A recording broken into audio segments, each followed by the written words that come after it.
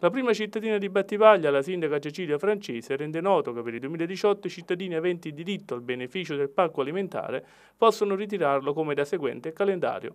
Martedì 9 ottobre, lettere AL, dalle ore 18 alle ore 20, mercoledì 10 ottobre, MZ, dalle ore 18 alle ore 20. La consegna dei pacchi avverrà presso la sede del Nucleo Comunale di Protezione Civile, ubicata in via Gonzaga. Il beneficiario è tenuto a presentarsi nel luogo presentando un documento di riconoscimento in corso di validità. Il mancato ritiro del pacco alimentare da parte del beneficiario per due volte consecutive, senza giustificato motivo, comporta l'immediata decadenza del beneficio e lo scorrimento della graduatoria.